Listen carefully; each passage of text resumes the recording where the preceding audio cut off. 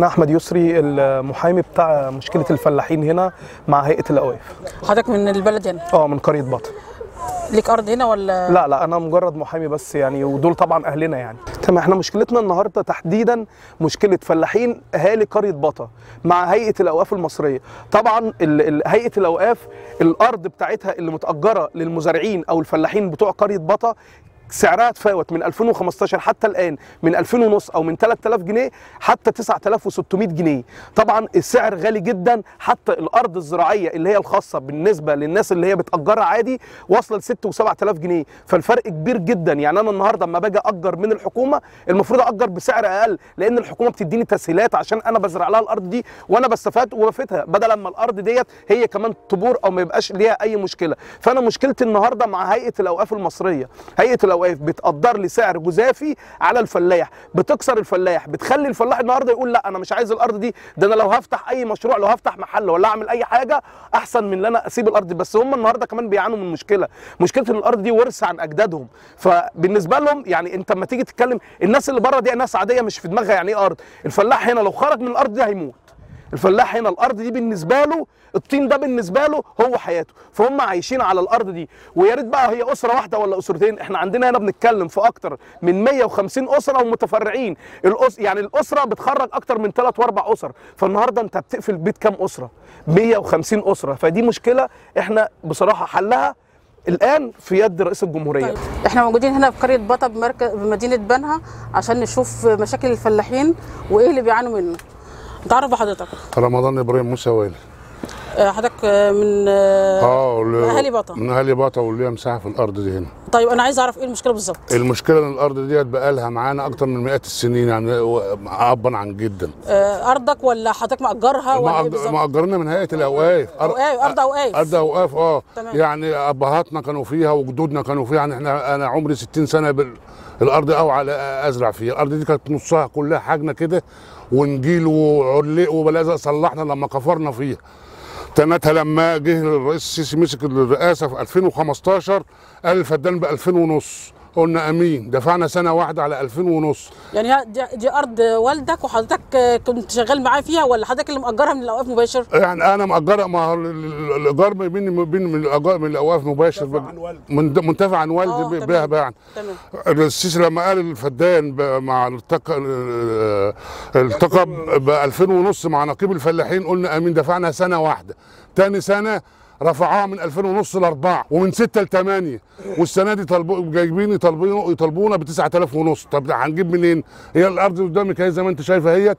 شوية برسيم شوية غلة قادر بنستنفع منهم. ولا عندنا مأوى غيرها ولا ولا أي حاجة غير هنجيب لهم 9000 جنيه منين؟ والجاز مغليين مغليين الدنيا علينا. الريت للجاز ب 7 جنيه. الفدان أنا عندي فدان أرض وعندي مكانتي ح- خاصة ليا. وبرويها الرايه بتقف عليها ب 150 جنيه من غلو الجاز. الايراد الأرض كان بينحرد ب 5 جنيه دلوقتي بينحرد ب 35 جنيه وب 50 جنيه في السنة. أصلا الأوقاف عاملة لهم بنود في العقد بالمعنى اللي حضرتك بتقولي ده ما هو ده للأسف اللي إحنا بنتكلم فيه. حاطة لهم بند أو اتنين فيما معناه إن أنا وقت ما عاوز أرضي هاخدها منك. حتى مش حاطة له مثلا مدة معينة. طب طب؟ هنزرك. ما هو ما هي هي شايفة نفسها مش شايفة الفلاح. ما هي دي مشكلتها. يعني أنا النهارده حتى هل في قانون مثلا آه، آه، إن هم يتملكوها؟ لا ما فيش قانون إن هم يتملكوها. طب أنت النهارده أنا زارعها أنت بكرة الصبح ممكن تقول لي أنا هاخدها منك هنتزعها منك. طب إيه؟ طب إديني إنذار قبلها. سيبها لي سنة أو سنتين أكون أنا سويت أموري. لا ما فيش الكلام ده. العقد بتاع هيئه الأوقاف معمول لراحة هيئة الأوقاف مش لراحة الفلاح.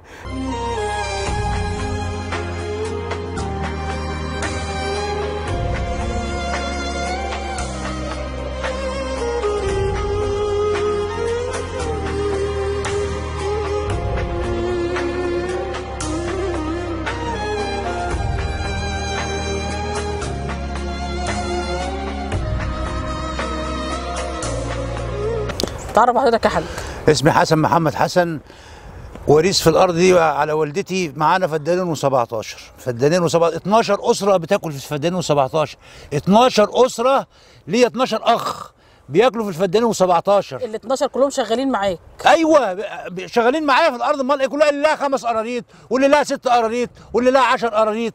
آه يعني ف- العيله كل ال آه. ال 12 فبجد يعني- للعيلة كلها. آه فدانهم 17 12 واحد اتنا- راجل وست. بن تمام. بن بن بنشتغل في الأرض ديت وناكل منها. إيه المشكلة بقى؟ المشكلة إن فجأة كل سنة يا أستاذة كل سنة الإيجار يزيد كل سنة الإيجار يزيد. السنة اللي فاتت كانت ب 300 اللي قبلها كان ب 270 طب أنتوا زودتوا 100 100 جنيه في الايراد عشان إيه يعني 100 جنيه؟ 400 جنيه في. ما حصلتش في ده ال... الناس الاهالي الاهالي اللي عندها ارض ملك والله 250 و300 جنيه يعني الراجل اللي هو يعني متمسك قوي بي بي بياخد ب 300 جنيه. انما فجأة 400 جنيه. وبعدين عشان تروحي تجيبي جواب لل- لل- للكيماوي يا أستاذة. ياخدوا منك 100 جنيه يعني. طب أنا أنا خمس أختي عندها خمس مين قرايب اللي بياخد منك آه، 100 جنيه للجواب؟ هيئه الاوقاف مقابل إيه؟ مقابل عشان يديك جواب تصرف كيماوي من الجمعية. جواب طب قول لي خمس قرايب ما بيصرف ما لهمش كيماوي. طب هتديني كيماوي. وقول لك اعمل عقد ب 1800 جنيه. يعني عايز يعمل عقد. يديني عقد سنة ياخد في العقد 1800 جنيه. طب 1800 جنيه دول يعني هو انت بتديني عقد ملك. ده ارض أوقاف كل سنة بتتغير إيه لازمة العقد بقى 1800 بيذلوا فينا يا أستاذة ذله ذله بجد يعني ما شفتهاش قبل كده. صراحة يعني ذله فينا ذله ذله جامدة. فحرام اللي بيتعمل ده حرام حرام يعني.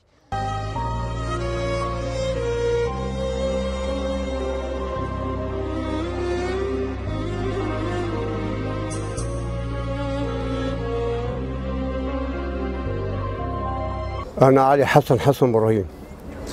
وزرع زرعين في الأرض دي ليك هنا مأجر قد إيه؟ الأرض دي 100 فدان وارثينها أبا عن جدا. يعني أبهاتنا آه، واخدينها 100 فدان كم 100 حد كم. حد مأجرها؟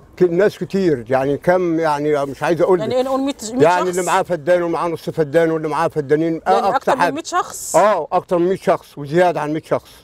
خدت بالك؟ يعني نقول 150 أسرة. آه 150 أسرة. وبنعاني من الأرض دي. الأرض دي كانت ب 200 ك- كان الأول خالص أنا كنا زارعينها أنا أنا عندي 75 سنة. والارض دي كان أبويا بيدفع لي الفدان 7 جنيه. تمام. فجم لما جم بقى وحصل اللي حصل خدوا منا إيه العقود؟ العقود منا القديمة اللي كنا بندفع عليها وخدوها مين وطلعوا اللي خد منك العقود؟ الأوقاف هيئة الأوقاف. اللي هي كانوا ال- العقود اللي كان والدك اللي كان آه اللي كان والدي اللي كان والدي بي بي بي بيدفع عليه. وبقى كل سنة يدفعوا لنا يزودوا لنا الأرض يزودوا لنا الأرض يزودوا لنا الأرض. خدت بال يعني كده معايا انت حضرتك متأجر بتزرعها ما من غير خدوا من منا العقود عقد. خدوا منا العقود. يعني بتزرعها من غير عقد؟ من غير عقد. وبيتحكموا فينا. خدت بالك؟ الأرض جنبنا هنا هي في الأرض الملك ب 250 جنيه. الايراد ب 250 جنيه. فأنا أرجو من سيادة المسؤولين يرحمونا من هيئة الأوقاف. لأن إحنا تعبانين. والعالم الأسر دي كلها مش لاقية تاكل. وهو شغلنا وارزاقنا كله من الأرض. مرزقنا كله من الأرض وأنا ارجو لسياده المسؤولين يتابعونا ويرحمونا من هيئة الأوقاف. لأن إحنا كده تعبانين. حضرتك رحت الأوقاف؟ رحنا الأوقاف رحنا لهيئة الأوقاف في مصر. قابلت المسؤولين؟ قابلنا المسؤولين.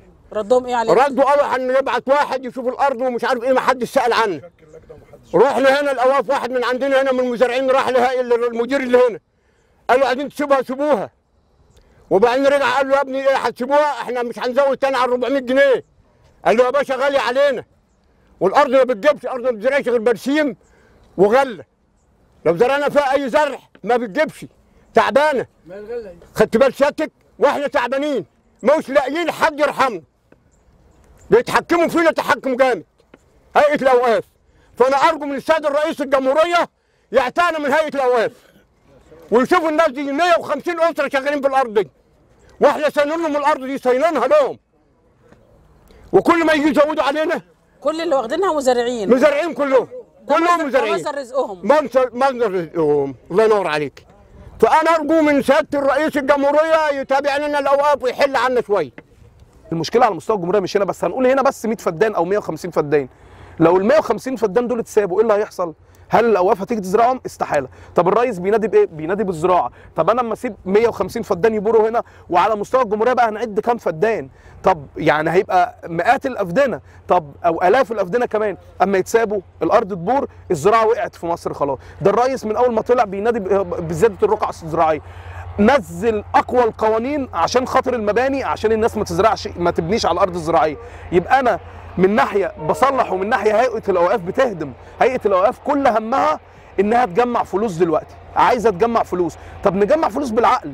برضو يعني أنا النهارده أما باجي أنا كشغال محامي ويبقى في ليا قضية مثلا في في مسألة قانونية زراعية أو أو هندسية بينزل لي خبير. الخبير ده بيقدر قيمة الأرض بيقدر قيمة الايراد بيطلع قد إيه؟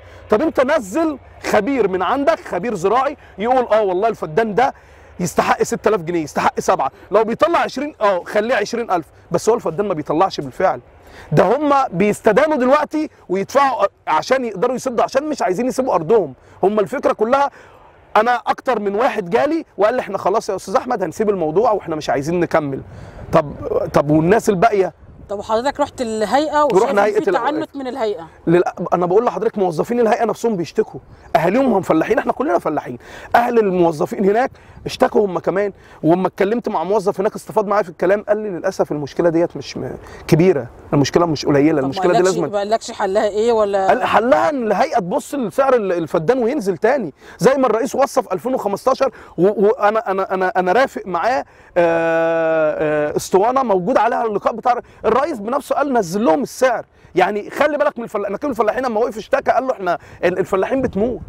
قال لهم نخلي بالنا من سعر ال- ال- الفدان وهزر وقال لهم أنتوا عايزينه بكام؟ وكان الموضوع جميل. بس بعد كده بعد 2015 خلاص الحال اتغير يعني عشان يعني هم مشوا كلام الرئيس تقصد سنة واحدة بس. فترة معينة وبعد كده انتهى. وبعدين ده إحنا لو قلنا حتى الزيادة الطبيعية اللي إحنا بنشوفها في في, الدنيا كلها زائد سعر أكل شرب أي حاجة بتلاقي الحاجة بتزيد بعقل.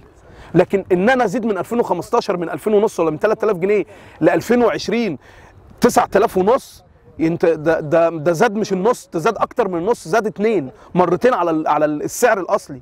فانتوا بت- يعني هم بيفكروا إزاي أو هم بيمشوها إزاي؟ نزل خبير وشوف آه في ممكن يكون في كرة تانية بتزرع زرع احسن أو بيطلع لها محاصيل احسن أو بتكسب أكتر. شوف آه لا في قرية زي بطه دي تبع القليوبية شوف القليوبية ديت بت- آه بتنتج إيه؟ يقيم الأرض قيم السعر. إيه، نزل لنا نزل لنا خبراء وقيم السعر والخبير ينزل على حسابنا. مفيش مشكلة يعني الخبير لو هيبقى في خبير رسمي انتقال للخبير للأرض الزراعية ويقدرها عمره ما هيقدر سعر الايراد أكتر من 5000 جنيه. عمره. عمره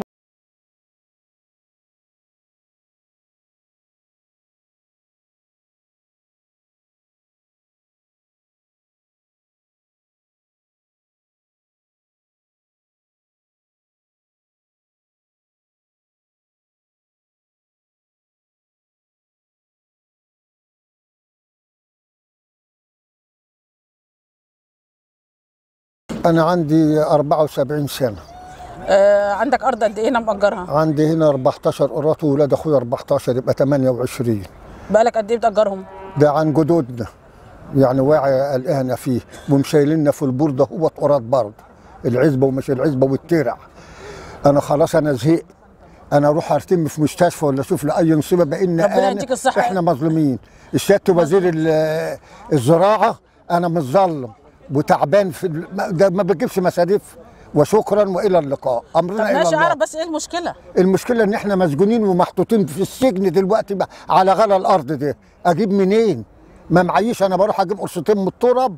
يا أمشي نفسي بوه شكرا وإلى اللقاء. طب أنا عايزاك تشرح لي القصة بالظبط إيه المشكلة وإيه اللي أنت عملت معاهم واتبنيت قضيتهم وحضرتك بيقولوا إن هم ردوا حضرتك رحت للهيئة لا و... رحنا هي- آه. طب أنا عايز أعرف إيه اللي حصل بالظبط؟ بص هو الموضوع ببساطة عشان ما نطولش برضو هم طبعا الجماعة هنا أهلينا يعني أهلي هنا في بطا وأنا من قرية بطا ففوجئت إن هم جولي المكتب وحكوا لي المشكلة. المشكلة بتاعهم بتتلخص إن الأرض من 2015 بدأت الكيرف بتاعها يعلى في السعر.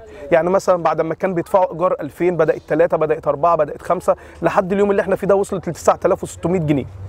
طبعا آه، أما نيجي نقارنها بالأرض اللي هي ملكية خاصة اللي بتتأجر برضو هنلاقي المبلغ في حوالي فرق 2000 جنيه. الناس اللي عادية بتأجر بستة وبسبعة. طب أنا النهارده أما أكون بأجر من الحكومة المفروض الحكومة بتأجر لي بسعر أقل. يعني ال- ال- الحكومة طبعا لأنها بتنظر اللي هي بتساعد الناس أو حاجة زي كده فالمفروض يكون السعر أقل. فلا هو عندهم السعر أعلى وأعلى كتير كمان. طيب هي مشكلة الأوقاف في إيه؟ هيئة الأوقاف دي هيئة مستقلة فمحدش له سلطة عليها ولا حد يقدر يقول لها حاجة. هيئة مستقلة ومحدش يقدر يكلمها في حاجة.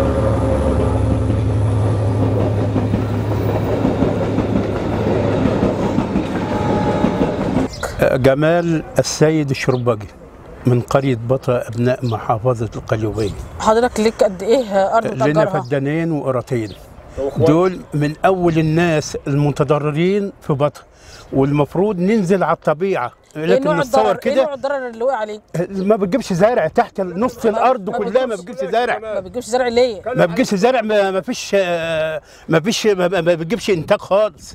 طب إيه المشكلة في إيه؟ المشكلة في الصرف. الصرف آه، يعني ما بيمشيش خالص خالص. المية بتقب على سطح المية وما فيش زرع بيجي خالص.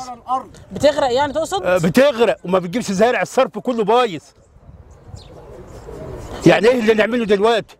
وأنا عايز حضرتك تنزلي دلوقتي على الطبيعة تشوف الأرض ما والله بنكمل ايجار الأرض من جيب. أنا مرتبي 1950 جنيه. هاي وإحنا لا نمتلك من الدنيا إلا الست. والله يعلم بهذا بهذا يعني الكلام. عايش على الأرض دي؟ عايشين على الأرض دي. إحنا وإخواتنا وابا عن جد وأجداد إيه الاجداد المشكلة اللي بينكم وبين الأوقاف؟ المشكلة غلو غلو ال- ال- ال- السعر بتاع الأرض. هنعمل إيه؟ يعني ال- ال- الايراد حوالي ب 400 جنيه ل 10 طب إحنا هنجيب منين؟ إيجار الأرض بره ب هو 250 بقى هنا ب 400 أنا بكمل إيجار الأرض من جيبي. يعني الأرض هنا بتأجر الايراد ب 250 والأوقاف بيأجروها ب 400 ب 400 أمال إيه؟ ما الجماعة كلموا بالموضوع ده. تمام. ب 400 جنيه. يعني حرام يعني هجيب منين هنجيب منين ولما كلمتهم قالوا لك إيه؟ عملنا ال- الله بارك الله في الحاج علي حسن والحاج رمضان. راحوا هيئة الأوقاف المصرية بالدقي في مصر واتكلموا خد إحنا مقومين محامي على حسابنا. وخد المحامي وراحوا ال- الهيئة وقالوا له ده إحنا هنعمل الإجراءات وتوكلوا على الله. وادي وادي محدش تابع شاف الإجراءات ولا حد ساعه. ولا أي حاجة إلا الجماعة دول. الله يكرمهم ربنا يكتر من امثالهم الحاج علي حسن والحاج رمضان والي إحنا اللي هنعمله أكتر من كده. وإحنا ما نمتلكش إلا الستر من الدنيا. هنجيب فلوس منين؟ يعني لما أكون مرتبي 1950 جنيه وشوف الأسرة هتصرف بإيه والغاز بإيه والكهرباء بإيه والمية بإيه وشوف إيجار الأرض إيه. يعني بدفع زيادة 1000 وخ- 1500 جنيه من جيبي غير صاحب ال- ايجار الأرض بيديني 2000 و- آه، 2000 جنيه في السنة في السنة. إيه اللي هنعمله أنت بتزرع الأرض إيه؟ بنزرعها برسيم وغله ودوره تيجي في فصل الصيف الذره فدان كلهم بيتزرعوا برسيم وغله أيوه أيوه الذره بيجي في الصيف ما بيجيبش ما بيجيبش مصاريف. تمام. طب كلمة تقول كلمة تقولها للمسؤولين. نعم. كلمة تقولها للمسؤولين. المسؤولين يبصوا لنا في عايزين يعني ننزل إيجار الأرض شوية حرام يعني. تمام. لكن 400 جنيه هنجيب هنجيب هنجيب فلوس منين وإحنا ماشيين بالعافية. والله ماشيين بالعافية. تمام آه هي هي المفروض إن مشكلتهم مع هيئة الأوقاف. الأراضي كلها بتتبع هيئة الأوقاف. طب أنا عايز أقول حاجة بس أقدمها الأول.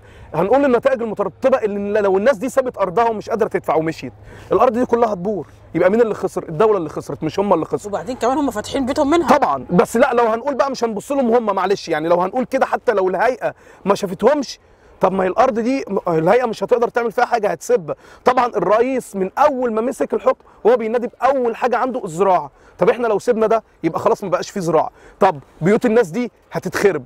يبقى إحنا كده في إيه؟ يبقى إحنا كده بندن في مالطا، أنا رحت هيئة الأوقاف مع الناس وقدمنا شكوى ولسه لحد الآن المشكلة بقى الم- ال- المشكلة دي مش قرية بطه بس ده هي مشكلة على على مستوى الجمهورية، الأوقاف عاملة السعر ده على مستوى الجمهورية، ورحنا لقينا هناك برضو ناس كتير واشتكوا برضو بتاع ويقول لك ال- ال- الشكوى في المكتب الفني لحد الآن لسه ما اتنظرتش، بقالك قد إيه بقدم الشكوى الكلام ده بقاله أكتر من شهر ونص.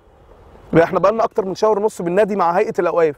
طيب اما نيجي نتكلم على الحته القانونيه للاسف أنتم مفيش سلطه عليهم أو مفيش حكم يقدر يلزمهم لأن ال ال الهيئه شايفه ان سعر الايراد أو سعر الأرض بتاعها هو ده الثمن بالنسبة لهم. طب انت بس التقدير جزافي التقدير عالي جدا. حتى اما أنا رحت هناك للموظفين جوه في الاوقاف نفسهم اهاليهم فلاحين. قالوا لنا إحنا كمان اهالينا جت واشتكت وإحنا مشتكين إحنا كمان. طب الموضوع فين بقى؟ عند وزير الاوقاف؟ طب لو- طب رئيس الجمهورية في 2015 كان في لقاء ومتذاع على الهوا مؤتمر و- و- ونقيب الفلاحين طلع واتكلم وبالفعل استجاب وأوصى لنقيب ل- لهيئة الأوقاف قال لهم خلوا بالكم من الفلاحين وحتى قالها بهزار كده مع نقيب الفلاحين بيقول له أنتوا عايزين السعر كام؟ قال له اللي انت تشوفه يا ريس قال له 2000 ونص كويس فطبعا نقيب الفلاحين قال له كويس جدا ده في 2015 من بعد التاريخ ده بقى بدات تعلى تعلى تاني طبعا. طب كلام الرئيس فين؟ ما مش موجود هناك دلوقتي. المشكلة دلوقتي إن إحنا ال... إحنا هنخاطب رئيس الجمهورية لأن مش هننفع نخاطب جهة تانية. رئيس الجمهورية لا يبص بعين الاعتبار للناس الغلابة دي والناس الفلاحين دي يقدر يتكلم هيئة الأوقاف اللي هي تنزل السعر. خوفا من حاجتين. أول حاجة الأرض الزراعية دي هتتلف وهتبوظ وهت... ومش وهتبور ومش هيبقى لها أي لازمة. تاني حاجة الفلاحين اللي هم أكل عيشهم أو حياتهم واولادهم وعيشتهم كلها من الأرض دي. هم دول الحاجتين المهمين. أنت كده بتقفل بيوت وهيروحوا فين الناس دي كلها؟ المشكلة ديت هنيجي نتكلم في عقد. طب في عقد ملزم؟ لا مفيش عقد. الناس ديت ابا عن جد زي ما هم قالوا هو وراثة. الموضوع كله توارثوا عن أهاليهم. ال- البداية كانوا عاملين عقود. بيعملوا عقد بسنة بسنتين بعد كده العقد بينتهي بيجدد له تاني بعد كده العقد بينتهي بيجدد له. حتى في بنود في العقد للأسف البنود قوية جدا على الفلاحين. يعني يقول اللي أنا في أي وقت لو عايز أجي أسترد ارض هستردها طب ما أنا زارعها. هتستردها إزاي في الوقت ده؟ خلينا نقول البند ده ملناش دعوة بيه. طب في حاجة بقى بتلزم هيئة الأوقاف زي ما أنت بتلزم الفلاح. إيه اللي بيلزم هيئة الأوقاف؟ لأ السعر بر... السعر هو اللي هو عايز يحطه أي سنة. فضلا بقى عن إيه؟ طب أنا عجزت الفلاح النهارده وهو مش هيقدر يدفع. عملت له غرامة تأخير. غرامة تأخير. غرامة التاخير دي عالية جدا. يعني عشان يجي يدفع النهارده لو هو اتأخر في سداد 10000 جنيه يروح يلاقي نفسه بيدفع 11000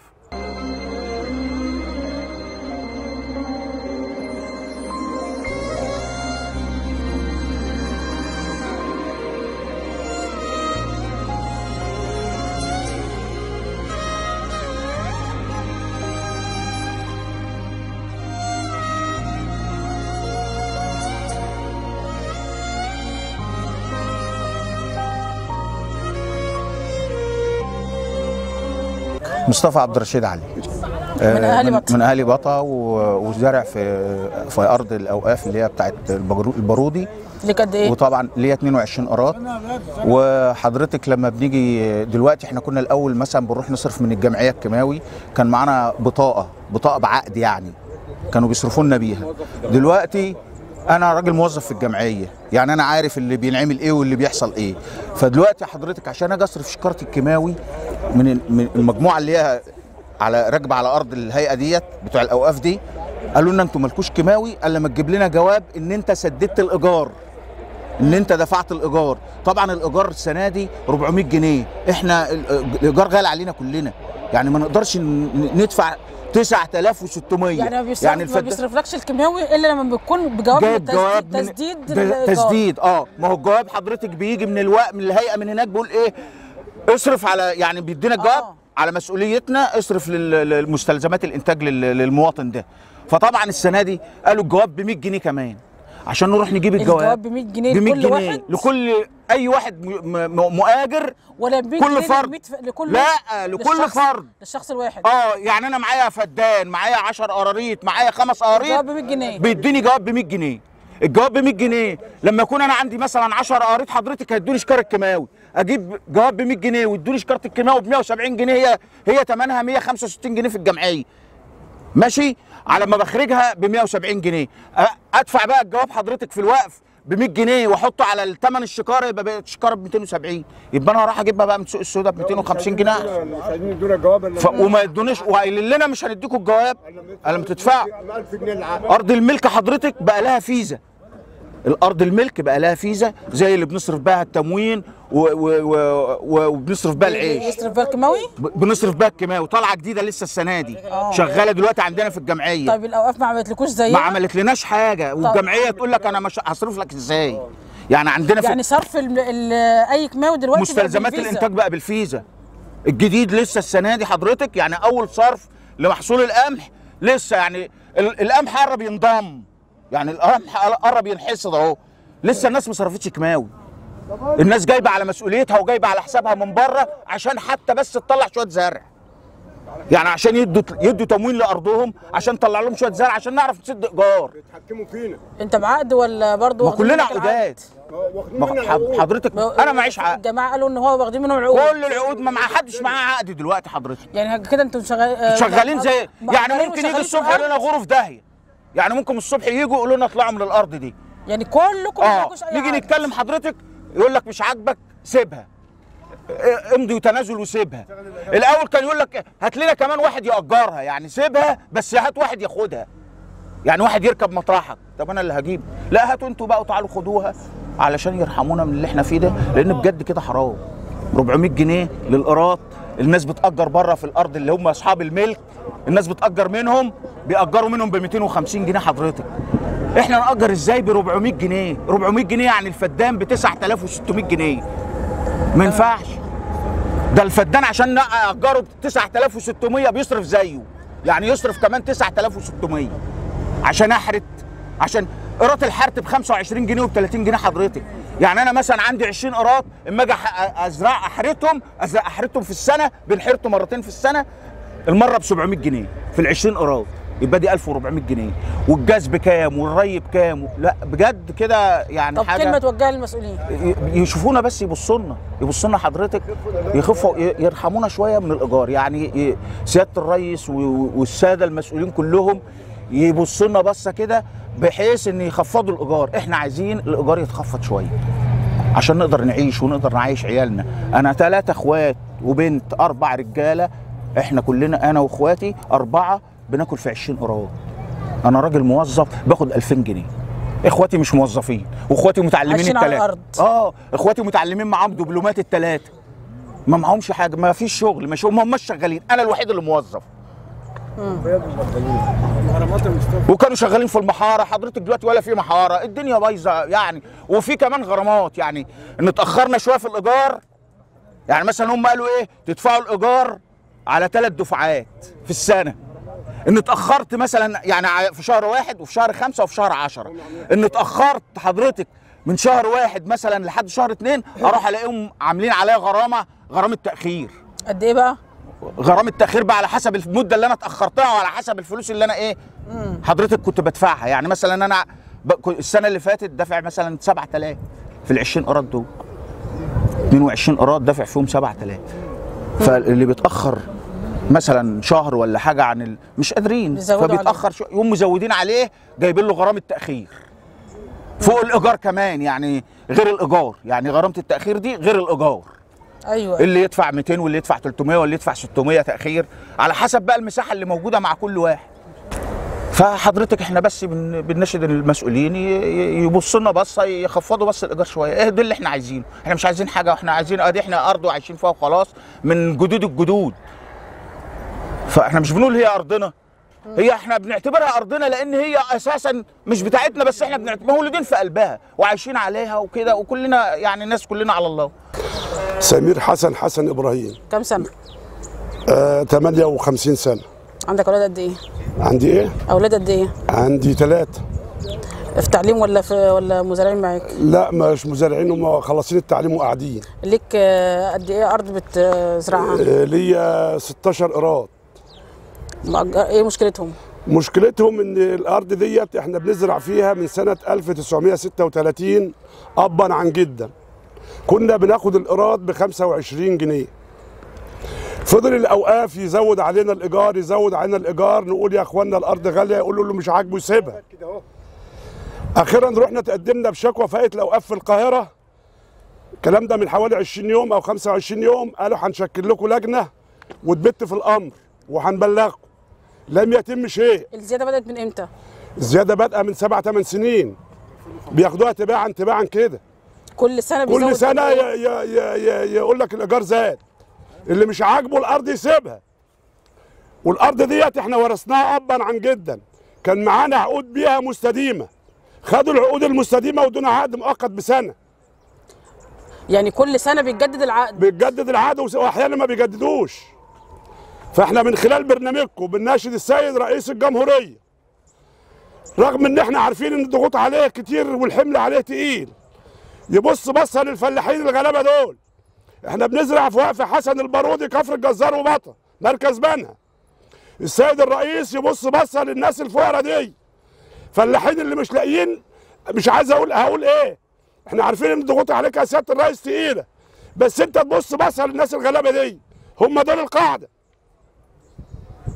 ناشدت المسؤولين في المحافظة؟ ناشدنا المحافظة لا إحنا مع هيئة الأوقاف. بقول لك دي جهة مختصة. ماشي ما هو في أي في أي محافظة المحافظ رقم واحد هو- والله إحنا هو رئيس هنشوف جمهوريتها. من خلال برنامجكم تصعدوا الأمر للسيد المحافظ. والسيد المحافظ يبقى على علم. ال- مديريه الاوقاف هنا؟ مديرية الاوقاف هنا نروح للمدير يقول لك اللي مش عاجبه الأرض يبني تنازل. اللي مش عاجبه الأيجار يمضي تنازل. طب إحنا نروح فين ونيجي منين؟ ده مصدر رزقنا. الأرض بتأجر بره الإيراد ب 250 جنيه. أرض سليمة أحسن من الأرض. وانت حضرتك هتصوروا وتشوفوا ال- هنا بتزرع إيه؟ برسيم وغل وذره يعني هي يمكن في الشتاء زرع الشتاء بيبقى متحسن شوية. في الصيف ما بيجيبش حاجة خالص. ما تجيبش مصاريفها. والله والله ما تجيب مصاريفها. في الصيف. تمام. فمن خلال برنامجكم تناشدوا السيد المحافظ وتناشدوا المسؤولين في هيئة الأوقاف رغم إن إحنا تعبنا معاهم ومحدش سأل فينا. وبناشد السيد رئيس الجمهورية تاني يا سيادة الرئيس رغم ان أنا عارف إن ضغوط عليك كتير كان الأمر ده ما يوصلكش. بس بص للناس الغلابة الفلاحين دول. وبشكركم على على تلبية دعوتكم لينا. وجاء المسؤولين يخفضوا لنا الإيجار عشان نعرف نمشي ونعرف نعيش. أدي اللي, أنا عايزه. من 9000 من 2000 ونص ل 9000 طب الرئيس الجمهوريه قال ب 2000 ونص قلنا ماشي. بأربعة برضه ماشي. إنما 9000 هنجيب 9000 ونص منين لآخر السنة؟ للإيجار ولا التكلفة ولا هنعمل إيه ولا إيه ولا إيه؟ والكيماوي ده مشكلته إن مصيبه خالص. عشان نروح نجيب الكيماوي تجيب الجواب من هيئة الاوقاف تدفع له 100 جنيه. ندفع 100 جنيه نروح نروح الجمعية الجمعية يقول لك النهارده الأسبوع ده الأسبوع جاي مرمطوا فينا أسبوع واثنين وثلاثه عشان أصرف شكارتين كيماوي يقف الشكاره بتقف عليها 200 جنيه. طب ده ظلم ده ولا يعني نعمل نعمل إحنا هنا بقى أكتر من كده؟ مش عارفين نعمل إيه. تمام. فيخفضوا لنا الإيجار شوية ما ينفعش. 9000 جنيه مش هي... مش هيمشي معانا خالص. الأرض حوالينا ب 250 جنيه و 300 جنيه. أحسن أرض وري وفيها ري بحاري ومي- وميتها وكل حاجة عند الأهالي. عايزين ياخدوها ياخدوها كلها عامة. ده السجن ولا كده ده ما ينفعش.